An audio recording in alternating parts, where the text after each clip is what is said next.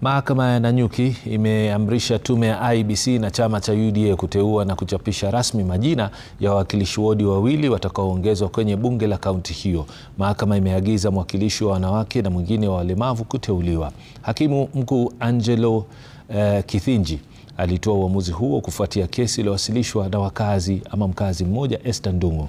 Ndung'u alidai kuwa masuala ya walemavu na kinamama hayashughulikiwi ipasavyo, kwani bunge la kaunti la Laikipia halikuwateua wawakilishi wa vikundi hivyo mwaka 2022. Uteuzi huu utaongeza idadi ya wawakilishi wodi wa Laikipia kutoka 25 hadi 27. Members shall be called out. When called out, the member shall proceed to the podium. Members. Wa baraza la wakilishi wa kaunti la Laikipia.